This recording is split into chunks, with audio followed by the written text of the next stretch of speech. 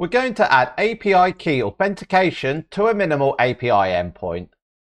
In this application that I've got, I receive a webhook whenever someone unsubscribes to my newsletter. I want to make sure that I only get webhook requests from the newsletter provider. One way I can do that is to get them to send over an API key as part of the request header. Then I can authenticate it in the application by looking at the API key that is saved in app settings. I specified this API key that I'm going to authenticate against. And no, it's not the one I'm going to use in production because you all know what it is. I've created this API options class and it's going to store the key within that. So it's going to replicate what's in here. We need to bind that though so we can use it in our ASP.NET Core Web API. And to do that, we call builder.services, we call add options, we pass in the class as the generic type, then we need to bind it to our app settings. So it's within the API section, so that's what we specify. With the configuration set up, I want to make sure that the API key request header exists and that it matches what's in app settings. If it doesn't, the authentication needs to fail. Before we have a look at that, remember to subscribe to the channel and leave a like for the video. We need to create an authentication handler class that inherits this class.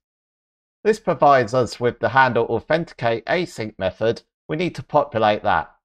But first of all, we need to inject the API options that we set up previously. So we're going to store that in a private read-only variable. We'll call the I options monitor. We'll pass in API options as the generic type, and we'll call it underscore API options. We'll then pass that in as a parameter as part of the constructor, and then we'll set it inside there. Now we want to do some checks. So we want to make sure that the request header has the API-key header as part of the request. If it doesn't, then we need to fail the authentication. So we do that by calling request.headers and we try to get the value. Now the key is called API-key and we want to output it to a variable called API key header. But if we can't get a value, we need to fail the authentication. And we do that by calling return Task from result and we call authentication result dot fail and we can supply an error message saying the API key is missing. After that, we want to check to see if the API key in the request matches the one that we've got in our config. And that's quite simple. We've got the API key header as part of the request. We can say if it doesn't match what we've got in API options once again, we'll fail the request. We'll give a different error message. We'll say invalid API key. At this point, we know that the authentication has passed. So we need to set up a new identity for it. To create a new claims identity, and within that, we'll create a new claim. We'll specify a name of it, and that's going to be the scheme name. Now the scheme name is something that we've just set up here and we've just called it API key. Then we can return the result that it's successful. So we call authenticate results dot success. And within that, we need to create a new authentication ticket with a new claims principal. We pass in the identity that we've created here. As part of that, we're also going to specify that it's come from the API key scheme. Eagle-eyed viewers would have realized that I missed something out when writing that code. I need to add a comma there so it actually compiles. With that set up, I need to configure it in program.cs. The first thing I need to do is to add a policy. So I call builder.services, I add authorization, and I need to specify some options. It's within those options where I can add a policy. So I call options.addPolicy. I'm going to call it API key policy. Now for this to work, I need to add an authentication scheme. So I call policy.add authentication schemes. We go back to the authentication handler, I've given it a scheme name of API key. So that's what I'm going to set up as the authentication scheme. So I call API key authentication handler and then the scheme name like that. And I also need to specify that I require an authenticated user as part of this policy. That bit done and then need to add the authentication. So I call builder.services, I call add authentication, and then I add a scheme. The authentication scheme options I need to pass through.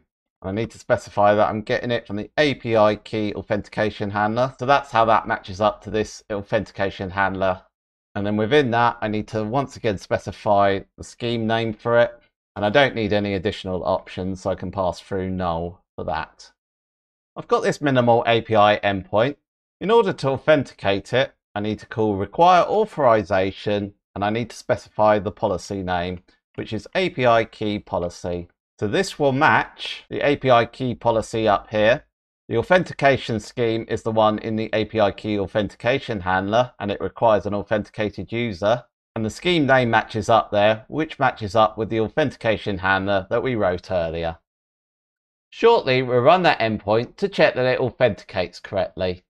Before we do that, I want to add some breakpoints into the authentication handler to make sure that it's going through it properly. Let's now test it. So we're not going to add an API key to the request header. So it's going through our authentication handler.